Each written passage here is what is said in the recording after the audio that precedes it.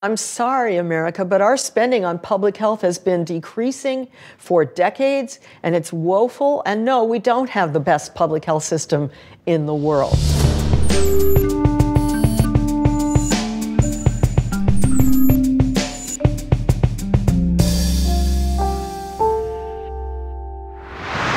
Hello and welcome to GZERO World. I'm Ian Bremmer, and today it's the biggest crisis since the 2008 financial meltdown we have a Pulitzer Prize winning science journalist to walk us through it. Laurie Garrett, who served as a top advisor on the movie Contagion, which is now sadly seeing life imitate art in ways we all hoped would never become reality.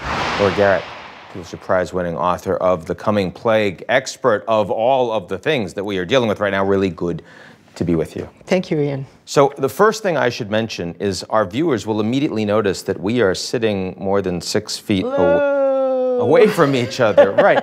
Should should we even be doing this right now? Is it okay? Is it safe? I mean, I think uh, people would like to know. Well, I think there's a lot of good questions to ask about whether or not it's safe for you to leave your home or wherever it is you're hunkered down right now. It's just very, very important you do everything possible to minimize the proximity to other people so that if you can move about and never get more than five or six feet from another person, you're okay. There are a lot of things we still don't know about this virus because it's new and so fast spreading. Tell, tell our viewers what the key things are that we know and the key things are that we still really don't know. Well, we know more about the virus in genetic terms than we've ever known about a microbe this quickly in the history of humanity. We, we have identified, completely genetically sequenced dozens of strains of it from all over the world. We can actually map, you know, which strain came first, and then it sired these strains and sired those strains, and which which strain went from Wuhan to Washington uh, State, Tehran to this place, and so on and so forth. That, I mean, we've never been this far ahead on that part of the story before. We also know a great deal clinically, and we know it because the Chinese figured it out, you know, through trial and error with a lot of people dying. And we know exactly, you know, how, how this virus kills people. Uh, we understand that very well. And it's a terrible, terrible disease. You're essentially drowning. You're the immune response against this very foreign thing to which no human being has previously been exposed means that your immune system says, whoa, I don't know what the heck this is. I don't have any, you know, memory of seeing this before. So I don't have specific neutralizing antibodies. I don't have a, a laser target, you know, to take out this enemy. So we're going to go all out nuclear war. We know all this. We know a great deal about um, the various stages clinically. And we, we now, I mean, the American doctors are just seeing it for the first time. So when I say we, I'm saying globally. The global community, of course. The sort of global health community. Yeah. But there are still a huge number of gaps in our knowledge that are fundamental to policy choices being made right now.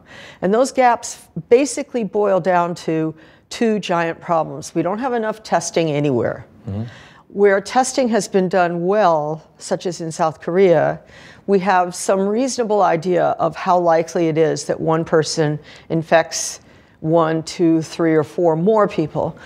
Um, and we have a bit of an idea of who's more susceptible to infection than another person, but we're not really, really sure. So we don't know um, if you can actually get this again if you've already been infected, given, given that lack of data? There's a huge problem there. Because what we're seeing in China is there are people who, you know, go into intensive care, go into rigorous treatment, seem to clear the virus. They have two tests done uh, to determine if they have virus in their body before they're released. And then three, four weeks, they're back and they're terribly sick all over again. And the, so there's two possible explanations for that. One is that the test was very bad. It didn't get down to a dilute level of virus. So let's say it could detect um, the presence of the RNA of virus at the level of, say, 300 particles per microliter, but you had one particle per microliter. So you're way below the test level.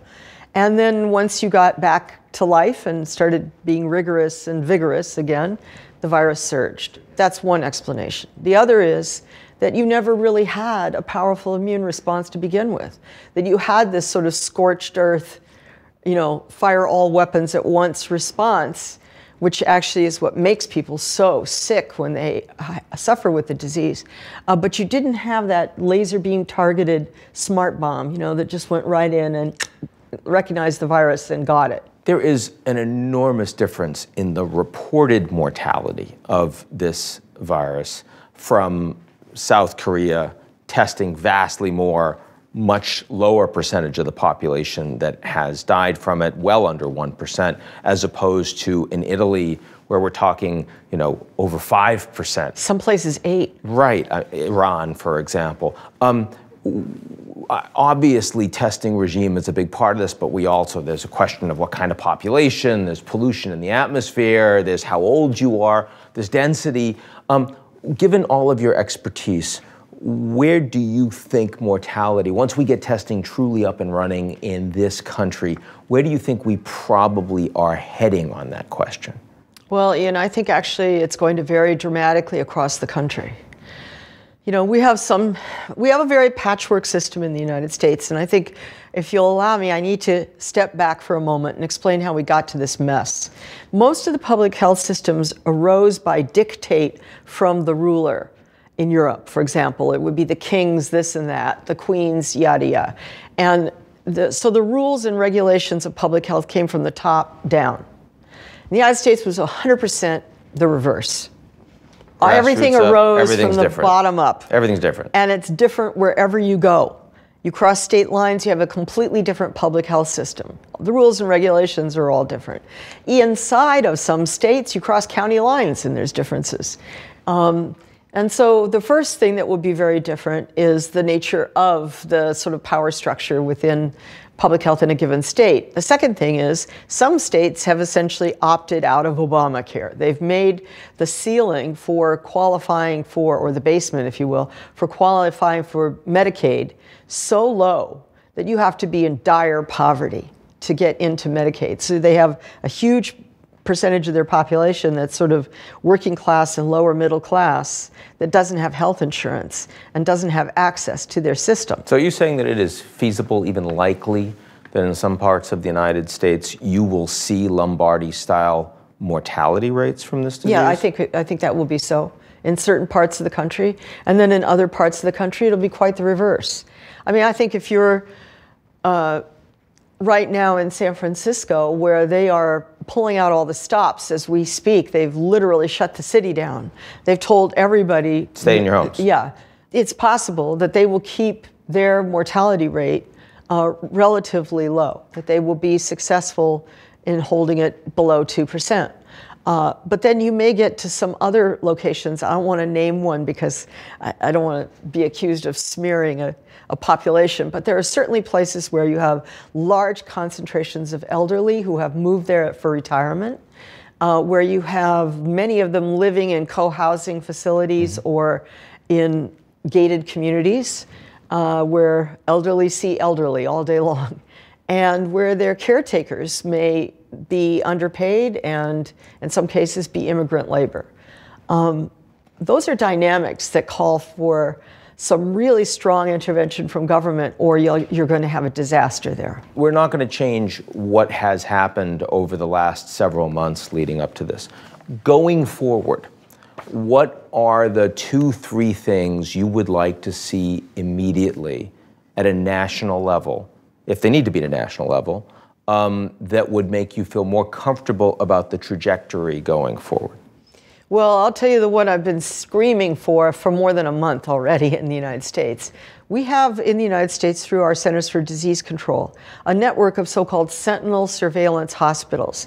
These hospitals are used to do routine surveillance, such as is there uh, methicillin resistant Staphylococcus aureus in hospital populations in America? So, what I want is a targeted a hospital surveillance that goes to every single intensive care unit in every one of the Sentinel hospitals in America. How many are we and, talking about? Oh, I think we're talking about uh, roughly a thousand hospitals. So something we America. can do, yeah. And so it's doable yeah. if we had a test, mm-hmm. and and to specifically test all um, pneumonia patients of unknown etiology. So that means you know they don't have bacterial infection that causing their pneumonia, and you're sure it's not flu.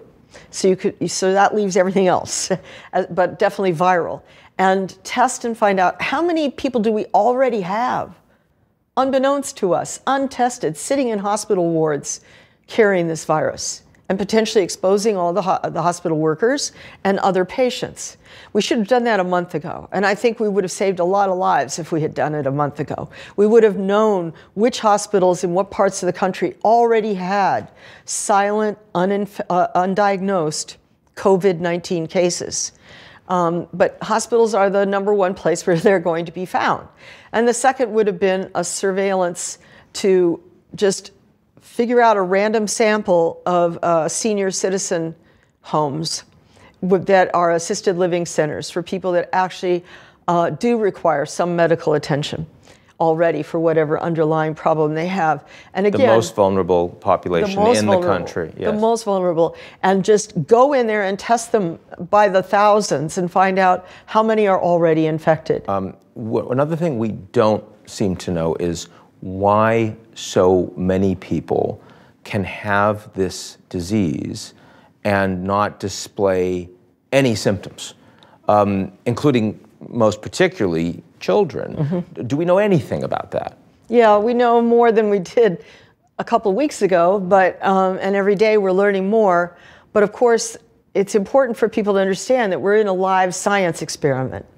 But now we actually are getting more data to show that there have been children very seriously sick, and a few have died in China. Uh, and it's not an utterly benign experience for children. More importantly, children may be vectors.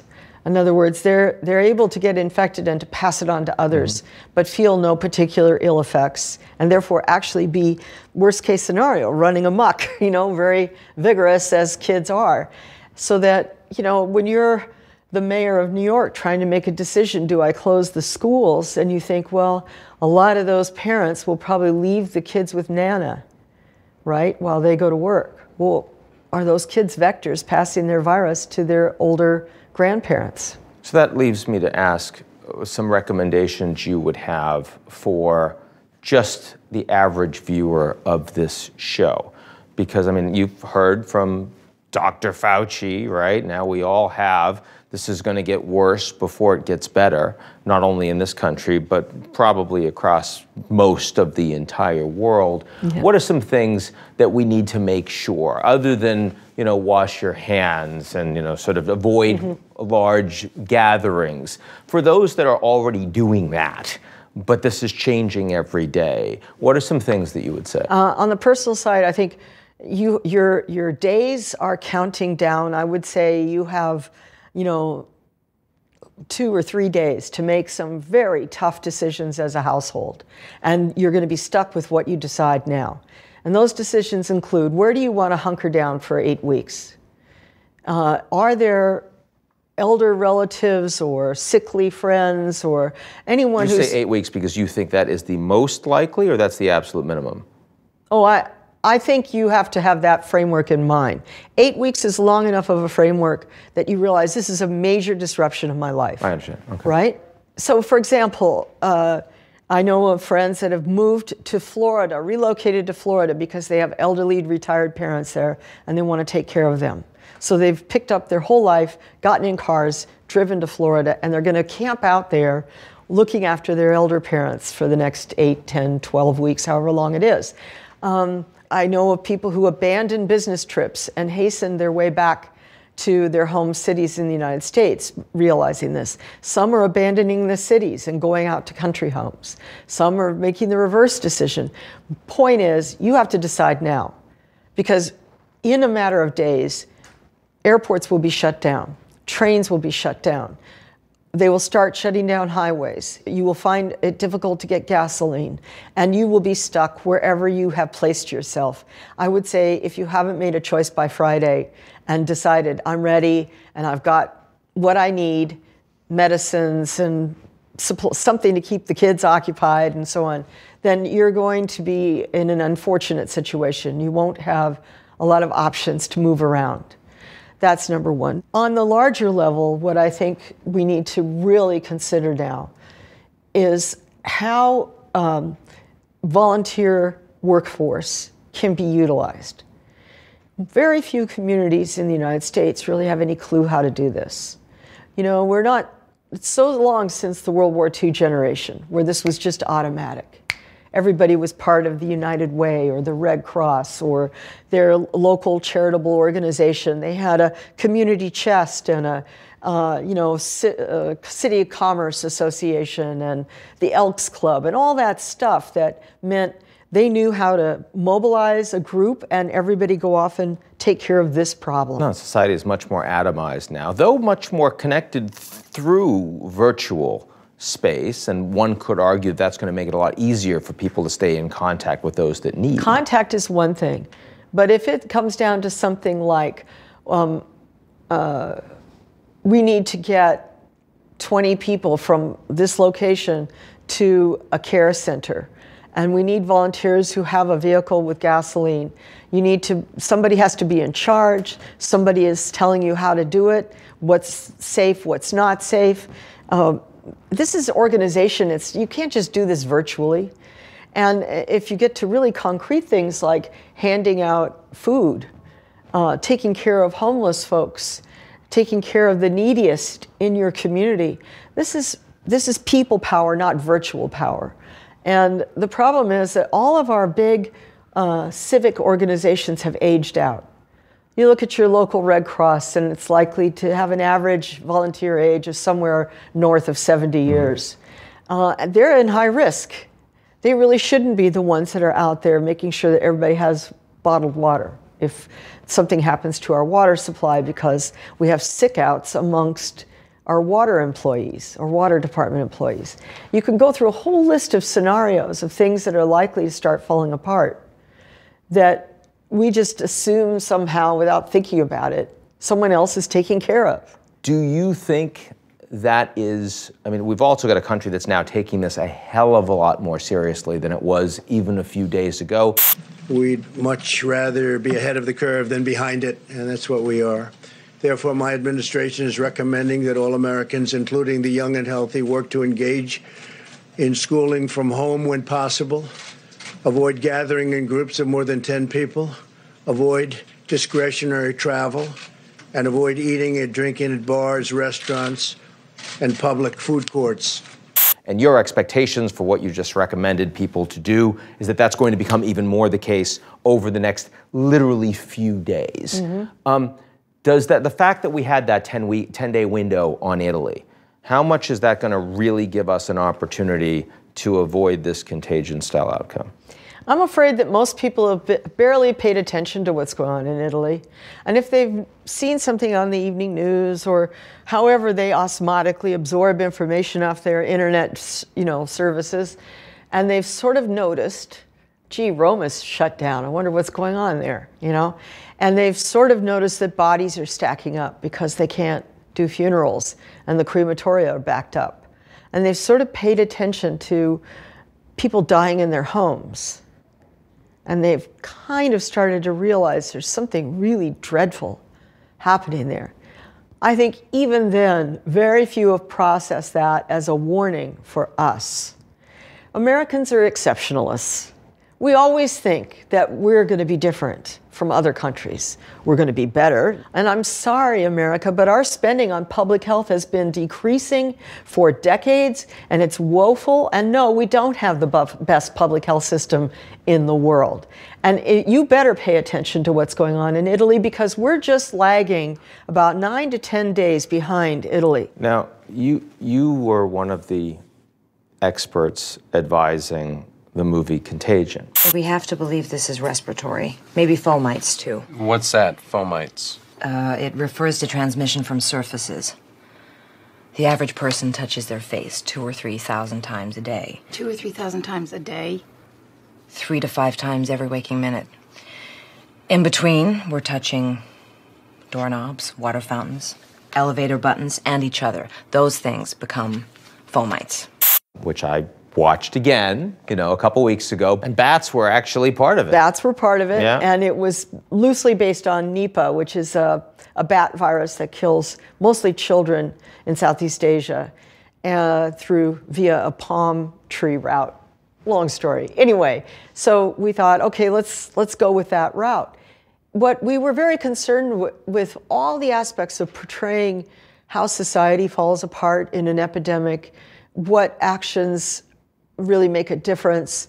Yes, the heroism of public health workers and, and their travails, that they're paid practically nothing and you expect them to risk their life.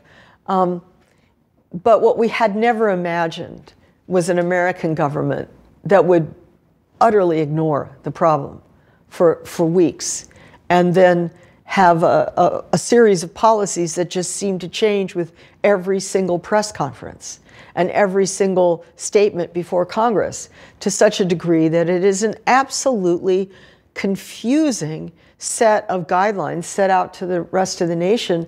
And nobody knows what our federal response really is. And we had not imagined that. So there is opportunity for a Contagion too. We'll make it a geopolitical thriller and we'll truly scare people. Well, then it would be a horror movie, not a thriller. Laurie Garrett, thank you very much. Thank you, Ian. That's our show for today. And if you like what you've seen, and I know you do, because I mean, that's why you keep coming, even though you're panicking from coronavirus, head to gzeromedia.com for more. Stay safe, and I'll buy your own some.